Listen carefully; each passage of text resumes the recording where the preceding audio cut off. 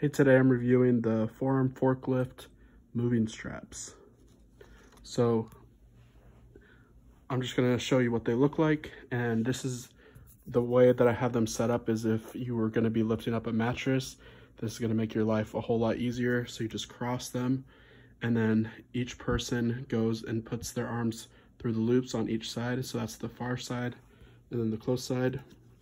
So for the loops, these are just to help take the strain off of your arms and you want to move them up your forearm. So the lower you go down, sorry, my cat's in the way.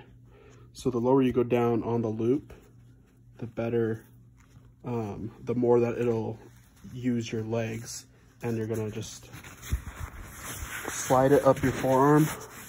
So all the way like this. And then you're gonna wanna put your arm against the, the object that you're lifting as you lift. And you want to try to slide it up your arm as much as you can and use more of your legs when you're lifting with these. So you'll notice a big difference when you're lifting with these um, compared to without. And you'll notice that it'll take a lot of the strain off of your arms and it'll actually use your legs a lot more. So on the picture, it actually shows a couple different techniques. So like a, uh, this is what I was showing for the mattress, like crossing them. And then for the dressers, you just want to make sure that you're putting your arms close to the dresser and it'll like relieve a lot of the strain and make sure that you're sliding up your forearms as much as you can and make sure that it's comfortable for you as well.